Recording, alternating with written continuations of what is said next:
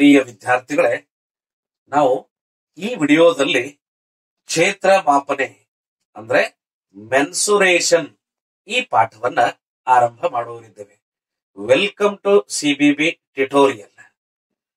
ವಿದ್ಯಾರ್ಥಿಗಳೇ, ನಾವು ಈಗಾಗಲೇ ಹಿಂದಿನ ವರ್ಗದಲ್ಲಿ ಏಕ ಸಮತಲೀಯ ಆಕೃತಿಗಳು.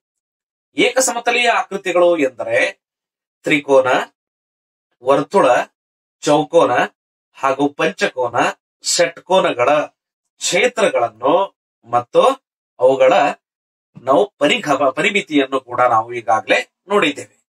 ಈ ಪಾಠದಲ್ಲಿ ಬರುವಂತಹ, ಅಂದ್ರೆ ನಾವು ಏಕ ಸಮತಲೀಯ ಆಕೃತಿಗಳ ನಂತರ ಘನಾಕೃತಿಗಳು, ಅವುಗಳಿಗೆ ತ್ರಿಮಿತಿಯ ಆಕೃತಿಗಳು ಎಂದು ಕೂಡ ಕರೆಯುತ್ತಾರೆ. ತ್ರಿಮಿತಿಯ ಆಕೃತಿಗಳು ಎಂದರೆ ಏನು ಮಕ್ಕಳೇ ಹಾಗಾದ್ರೆ? ತ್ರಿಮಿತಿ ಅಂದ್ರೆ ತ್ರೀ ಡೈಮೆನ್ಷಿಯಲ್. ಉದಾಹರಣೆಗಾಗಿ ನೋಡಿ, ನಾವು ಒಂದು ಕಟ್ಟಡವನ್ನ ನೋಡುವಾಗ, ಆ ಕಟ್ಟಡದ ಪೂರ್ಣ ನಾಲ್ಕು ಗೋಡೆಗಳನ್ನ ನೋಡ್ಬೇಕಾದ್ರೆ, ನಮಗೆ ಆ ಕಟ್ಟಡದ ಹೊರಗಿನಿಂದ ನೋಡುವಾಗ, ಆ ಕಟ್ಟಡವನ್ನ ಮೂರು ಸಲ ನೋಡಿದಾಗ, ಆ ಕಟ್ಟಡದ ಪೂರ್ಣ ಭಾಗ ನಮಗೆ ಕಾಣುತ್ತೆ ಮಕ್ಕಳೇ. ಉದಾಹರಣೆಗಾಗಿ ನೋಡಿ, ಒಂದು ಮೂಲೆಗೆ ನಾವು ಹೋಗಿ ನಿಂತ್ರೆ ಎರಡು ಗೋಡೆಗಳು ಕಾಣುತ್ತವೆ. ಪುನಃ ಎರಡನೇ ಮೂಲೆಗೆ ಹೋಗಿ ನಿಂತ್ರೆ ಪುನಃ ಎರಡು ಗೋಡೆಗಳು ಆನಂತರ ಮೂರನೇ ಮೂಲೆಗೆ ಹೋಗಿ ನಿಂತ್ರೆ ಪುನಃ ಎರಡು ಗೋಡೆ ಹಾಗೂ ನಾಲ್ಕನೇ ಮೂಲೆಗೆ ಹೋಗಿ ನಿಂತಾಗ ನಮಗೆ ಆ ಪೂರ್ಣ ಕಟ್ಟಡದ ಸುತ್ತುಗಳನ್ನ ನೋಡಲು ಕಾಣುತ್ತದೆ ಮಕ್ಕಳೇ. ಈಗ ಇಂತಹ ಆಕೃತಿಗಳಿಗೆ ಯಾವ ಆಕೃತಿಯನ್ನ ನಾವು ಪೂರ್ಣವಾಗಿ ನೋಡಬೇಕಾದ್ರೆ ಅದಕ್ಕೆ ಮೂರು ಸಲ ನೋಡಬೇಕಾಗುತ್ತದೆಯೋ ಅಂತಹ ಆಕೃತಿಗೆ ನಾವು ಘನಾಕೃತಿಗಳು ಎಂದು ಕರೆದಿರುವೆವು. ಈ ಘನಾಕೃತಿಗಳಲ್ಲಿ ಬರುವಂತಹ ನಾವು ಮೊದಲಿಗೆ ಇಷ್ಟಿಕಾಚಿತಿ. ಇಷ್ಟಿಕಾಚಿತಿ ಅಂದ್ರೆ ಉದಾಹರಣೆಗಾಗಿ ವ್ಯವಹಾರದಲ್ಲಿ ಬರುವಂತ ಇಟ್ಟಿಗೆ ತಾವು ನೋಡಿರಬಹುದು ಇಟ್ಟಿಗೆ ಆಕೃತಿ ಇರುವಂತಹ ಆಕೃತಿಗಳಿಗೆ ಅವುಗಳಿಗೆ ನಾವು ಇಷ್ಟಿಕಾಚಿತಿ. ಇಷ್ಟಿಕಾಚಿತಿಯ ಪೃಷ್ಠಗಳು ಅವುಗಳಿಗೆ ಆಯತಾಕೃತಿಗಳು ಇರುವುದರಿಂದ ಅದಕ್ಕೆ ನಾವು ಇಷ್ಟಿಕಾಚಿತಿ ಎಂದು ಕರೆದಿರುವೆವು. ಹಾಗಾದ್ರೆ ಇಷ್ಟಿಕಾಚಿತಿಯ ನಂತರ ಬರುವಂತಹ ಮುಂದಿನ ನಾವು ಇಷ್ಟಿಕಾಚಿತಿಯಲ್ಲಿ ಇರುವಂತಹ ಪ್ರತಿಯೊಂದು ಭುಜಗಳು ಆಯತಾಕೃತಿಗಳು, ಅಂದ್ರೆ ಅದರ ಪೃಷ್ಠಗಳು ಆಯತಾಕೃತಿಗಳು ಇರುತ್ತವೆ. ಮುಂದಿನ ಆಕೃತಿ ನಮಗೆ ಇನ್ನೊಂದು ಘನಾಕೃತಿಯ ಬಗ್ಗೆ ಕೂಡ ನೋಡುವರಿದ್ದೇವೆ ಘನದ ಪ್ರತಿಯೊಂದು ಪೃಷ್ಠವು ಚೌರಸಾಕೃತಿಗಳು ಇರುವುದರಿಂದ ಅವುಗಳ ಪ್ರತಿಯೊಂದು ಭುಜಗಳು ಕೂಡ ಸಮಾನವಾಗಿರುತ್ತವೆ. ಆ ನಂತರ ನಮಗೆ ಮುಂದಿನ ಆಕೃತಿಯಲ್ಲಿರುವಂತದ್ದು ವೃತ್ತಚಿತಿ ಈ ವೃತ್ತಚಿತಿ ಅಂದ್ರೆ ಸಿಲಿಂಡರ್ ಈಗಾಗಲೇ ನಾವು ನೋಡಿರುವಂತದ್ದು ವೃತ್ತಚಿತಿ ಎಂದರೆ ನಾವು ಪಿ ಯು ಸಿ ಪೈಪ್ ಗಳನ್ನ ತಾವು ನೋಡಿರಬಹುದು. ಪಿ ಯು ಸಿ ಪೈಪ್ ಇದು ವೃತ್ತಚಿತಿ ಆಕೃತಿ ಇರುತ್ತದೆ. ಆ ವೃತ್ತಚಿತಿ ವೃತ್ತ ಅಂದ್ರೆ ವರ್ತುಳ ಭಾಗ ಪ್ರತಿಯೊಂದು ಭಾಗವು ವರ್ತುಳ ಆಕೃತಿಯಾಗಿ ಬರುವುದರಿಂದ.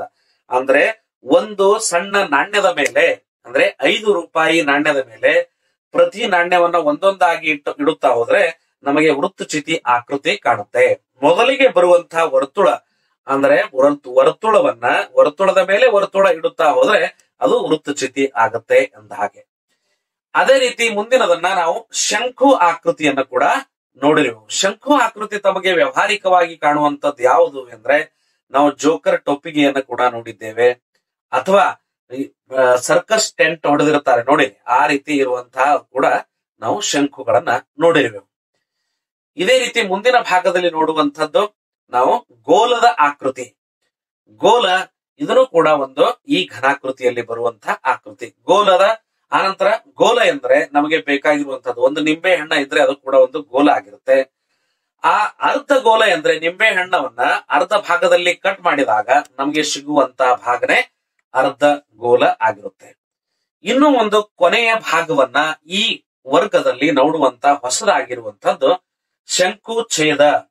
ಶಂಕು ಛೇದ ಆಕೃತಿ ಹೇಗಿದೆ ಅಂದ್ರೆ ಶಂಕುವನ್ನ ಮಧ್ಯಭಾಗದಲ್ಲಿ ಛೇದಿಸಿದಾಗ ಮೇಲಿನ ಭಾಗ ಶಂಕು ಆಗಿ ಉಳಿಯುತ್ತೆ, ಕೆಳಗಡೆ ಭಾಗ ಶಂಕು ಛೇದ ಅಂದ್ರೆ ನಮಗೆ ಗ್ಲಾಸದ ಆಕೃತಿಯಂತೆ ಅಥವಾ ಒಂದು ಬಕೆಟಿನ ಅಂತೆ ನಮಗೆ ಅದು ಕಾಣಬಹುದು. ಈ ಪಾಠದಲ್ಲಿ ಬರುವಂತಹ ಇಂತಹ ಎಲ್ಲ ಭಾಗಗಳನ್ನ ನಾವು ನೋಡೋದಿದ್ದೇವೆ. ಹಾಗಾದ್ರೆ ಇಲ್ಲಿ ಇಷ್ಟಿಕಾಚಿತಿಯ ಒಟ್ಟು ಪೃಷ್ಠಗಳು ಎಷ್ಟಿವೆ? ಹಾಗಾದ್ರೆ ಆರು ಪೃಷ್ಠಗಳಿವೆ. ನಾವು ಇದರಲ್ಲಿ ನೋಡುವಂತಹ ಇಷ್ಟಿಕಾಚಿತಿಯ ಪೃಷ್ಠಫಲ ಮತ್ತು ಘನಫಲ ಕೂಡ ನೋಡುವರಿದ್ದೇವೆ ಹಾಗಾದ್ರೆ ಇಷ್ಟಿಕಾಚಿತಿಯ ಪೃಷ್ಠಫಲ ಎಂದರೆ ಪೃಷ್ಠ ಎಂದರೆ ಒಟ್ಟು ಪೃಷ್ಠಗಳು ಮತ್ತು ಪೃಷ್ಠಗಳು. ಪೃಷ್ಠಗಳು ಎಂದ್ರೆ ಸಪಾಟಾದಂತ ಭಾಗ. ಇಲ್ಲಿ ಪೃಷ್ಠ ಫಲ ಯಾವಾಗ ಆಗುತ್ತೆ ಅಂದ್ರೆ ಇಷ್ಟಿಕಾಚಿತಿಯ ಒಟ್ಟು ಪೃಷ್ಠಗಳ ಕ್ಷೇತ್ರಫಲಗಳ ಬೇರೀಜಿಗೆ ನಾವು ಅವುಗಳ ಪೃಷ್ಠಫಲ ಎಂದು ಕರೆಯೋಣ. ಅದರಂತೆ ಅದರ ಘನಫಲ ಎಂದರೆ ಇಷ್ಟಿಕಾ ಚಿತಿಯಲ್ಲಿ ಎಷ್ಟು ನೀರು ಅಥವಾ ನಾವು ನೀರನ್ನ ಅಥವಾ ಧಾನ್ಯವನ್ನ ಎಷ್ಟು ಸಂಗ್ರಹಿಸುವವರಿದ್ದೇವೆ ಎಂಬುದನ್ನ, ಅಂದ್ರೆ ಅದರ ಕೆಪಾಸಿಟಿ ಅಂದ ಹಾಗೆ. ಅದಕ್ಕೆ ವೆಲ್ಯೂಮ್ ಎಂದು ಕೂಡ ನಾವು ಕರೆಯುತ್ತೇವೆ. ಆನಂತರ ನಂತರ ಮುಂದೆ ಇದೇ ರೀತಿಯೂ ಕೂಡ ನಾವು ಘನಾಕೃತಿಯಲ್ಲಿ ಕೂಡ ನೋಡೋಣ. ಆನಂತರ ನಂತರ ವೃತ್ತಚಿತಿಯ ವೃತ್ತಚಿತಿಗೆ ಇರುವಂತಹ ಘನಫಲ ಮತ್ತು ಪೃಷ್ಠಫಲ ನೋಡುವಾಗ ವೃತ್ತಚಿತಿಯ ಪೃಷ್ಠ ಅಂದ್ರೆ ಪೃಷ್ಠವು ವಕ್ರಾಕಾರವಾಗಿರುವುದರಿಂದ ಇದಕ್ಕೆ ವಕ್ರ ಪೃಷ್ಠಫಲ ಕೂಡ ತೆಗೆಯಬೇಕಾಗುತ್ತದೆ. ಮತ್ತು ಒಟ್ಟು ಪೃಷ್ಠಫಲ ಒಟ್ಟು ಪೃಷ್ಠಫಲ ಅಂದ್ರೆ ವಕ್ರವಾಗಿರುವಂತಹ ಭಾಗದ ಪೃಷ್ಠ ಮತ್ತು ಎರಡು ವರ್ತುಳಗಳ ಪೃಷ್ಠಗಳನ್ನ ಒಟ್ಟಿಗೆ ಬೇರೀಜು ಮಾಡಲಾಗಿ ಅದು ಒಟ್ಟು ಪೃಷ್ಠಫಲ ಆಗುತ್ತೆ. ಆನಂತರ ಅದರ ಘನಫಲ ತೆಗೆಯಬೇಕಾದ್ರೆ, ಯಾವುದೇ ಘನಾಕೃತಿಯ ಘನಫಲ ತೆಗೆಯಬೇಕಾದ್ರೆ ನಮಗೆ ಘನಾಕೃತಿಯಲ್ಲಿರುವಂತಹ ತಳದ ಕ್ಷೇತ್ರಫಲ ಇಂಟು ಎತ್ತರ ಎಂದರೆ ಆ ಘನಾಕೃತಿಯ ಘನಫಲ ಆಗಿರುತ್ತದೆ. ಅಂದ್ರೆ ಘನಫಲ ಇದರ ಅರ್ಥ ಗುರುತಿಸ ಗುರುತಿಸುವಾಗ ನಾವು ಘನಫಲ ಎಂದರೆ ಆ ಆಕೃತಿಯಲ್ಲಿ ಎಷ್ಟು ಭಾಗ, ಅಂದ್ರೆ ಎಷ್ಟು ವಸ್ತು ಸಂಗ್ರಹಿಸಲು ಬರುತ್ತದೆಯೋ ಅಥವಾ ನೀರನ್ನ, ನೀರಿನ ಕೆಪಾಸಿಟಿ ಎಷ್ಟಿದೆ ಎಂಬುದನ್ನು ಕಂಡುಹಿಡಿಯಬೇಕಾದ್ರೆ ಅದಕ್ಕೆ ನಾವು ವೆಲ್ಯೂಮ್ ಅಥವಾ ಘನಫಲ ಎಂದು ಕರೆಯುತ್ತೇವೆ. ಹಾಗಾದ್ರೆ ವೃತ್ತಚಿತಿಯ ಘನಫಲ ತೆಗೆಯಬೇಕಾಗಿದ್ರೆ ಕೆಳಗೆ, ಕೆಳಗಿನ ಭಾಗ ಅಂದ್ರೆ ವರ್ತುಳಾಕೃತಿ ಇರುತ್ತೆ. ಎತ್ತರ ಇರುವಂತಹದ್ದು ಎಚ್ ಎಂದು ಕರೆದಾಗ ವರ್ತುಳದ ಕ್ಷೇತ್ರಫಲ ಇಂಟು ಎತ್ತರ ಈ ರೀತಿಯಾಗಿ ಆ ವೃತ್ತಚಿತಿಯ ಘನಫಲ ಆಗುತ್ತೆ. ಆ ನಂತರ ನಮಗೆ ಶಂಕುವಿನ ಭಾಗನೂ ಕೂಡ ಅದೇ ರೀತಿ ಶಂಕುವಿನ ವಕ್ರವಾಗಿರುವಂತ ಭಾಗ ಮತ್ತು ಒಟ್ಟು ಪೃಷ್ಠಫಲ ಅದೇ ರೀತಿ ಅದರ ಘನಫಲ ಕೂಡ ತೆಗೆಯಲು ಬರುತ್ತದೆ. ಆ ನಂತರವಾಗಿರುವಂತಹದ್ದು ಗೋಲ ಅಂದ್ರೆ ಗೋಲದ ವಕ್ರವಾಗಿರುವಂತಹ ಭಾಗವು ಒಂದೇ ಅಥವಾ ಒಟ್ಟು ಪೃಷ್ಠಫಲ ಎಂದ್ರು ಒಂದೇ. ಯಾಕಂದ್ರೆ ಎರಡು ಎಲ್ಲವೂ ವಕ್ರಾಕಾರವಾಗಿರುವುದರಿಂದ ಅದಕ್ಕೆ ಒಟ್ಟು ಪೃಷ್ಠಫಲ ಅಥವಾ ವಕ್ರ ಪೃಷ್ಠಫಲ ಎರಡೂ ಭಾಗವನ್ನ ಒಂದೇ ಎಂದು ಪರಿಗಣಿಸಲಾಗುತ್ತೆ. ಅದೇ ರೀತಿ ನಮಗೆ ಅರ್ಧ ಗೋಲ ತೆಗೆದುಕೊಂಡಾಗ, ಅರ್ಧ ಗೋಲದ ಮಾತ್ರ ಒಂದು ಗೋಲ, ಗೋಲದ ಅರ್ಧ ಭಾಗದಲ್ಲಿರುವಂತಹದ್ದು ಅದು ಸಪಾಟವಾಗಿರುವಂತಹ ಭಾಗ ಅಂದ್ರೆ ವರ್ತುಳದ ಕ್ಷೇತ್ರಫಲ ಆಗುತ್ತೆ. ಉಳಿದ ಭಾಗ ವಕ್ರವಾಗಿರುವುದರಿಂದ ಆ ಎರಡರ ಬೇರೀಜಿಗೆ ಒಟ್ಟು ಪೃಷ್ಠಫಲ ಎಂದು ಕರೆಯಲಾಗುತ್ತೆ. ಆ ನಂತರ ನಮಗೆ ಶಂಕು ಛೇದ ಆ ಶಂಕು ಛೇದನು ಕೂಡ ಅದೇ ರೀತಿ ಮೇಲ್ಭಾಗನೂ ವರ್ತುಳಾಕೃತಿ, ಕೆಳಭಾಗನೂ ವರ್ತುಳಾಕೃತಿ ಇರುತ್ತೆ.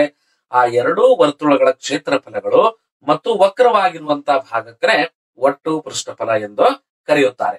ಅದೇ ರೀತಿ ಅದರ ಘನಫಲವು ಕೂಡ ಅದೇ ರೀತಿ ನಮಗೆ ಎತ್ತರ ಬರುತ್ತೆ, ಕೆಳಗಡೆ ಕ್ಷೇತ್ರ ವರ್ತುಳದ ತ್ರಿಜ್ಯ ಇರುತ್ತೆ, ಮೇಲ್ಬದಿಯ ತ್ರಿಜ್ಯದ ಉಪಯೋಗ ಮಾಡಿ ಈ ರೀತಿ ಅದರ ಘನಫಲನು ಕೂಡ ತೆಗೆಯಲು ಬರುತ್ತೆ ಮಕ್ಕಳೇ. ಈಗ ನಾವು ಈ ಮುಂದಿನ ಪಾಠ ಆರಂಭ ಮಾಡುವಾಗ ಹಿಂದಿನ ಕೆಲವು ಸೂತ್ರಗಳನ್ನ ತಾವು ಇನ್ನೊಮ್ಮೆ ಗಮನಿಸಿ, ಆ ಮುಂದಿನ ಪಾಠವನ್ನ ನಾವು ಆರಂಭಿಸೋಣ ಮಕ್ಕಳೇ. ಧನ್ಯವಾದಗಳು ಮಕ್ಕಳೇ. ಪ್ಲೀಸ್ ಸಬ್ಸ್ಕ್ರೈಬ್ ದಿಸ್ ಚಾನಲ್ ನಿಮಗೆ ಯಾವುದೇ ಸಮಸ್ಯೆ ಬಂದರೆ ನಮ್ಮ ಈ ಚಾನಲ್ಗೆ ಕಾಮೆಂಟ್ ಮಾಡಿ ತಿಳಿಸಿ ಮಕ್ಕಳೇ. ಧನ್ಯವಾದಗಳು.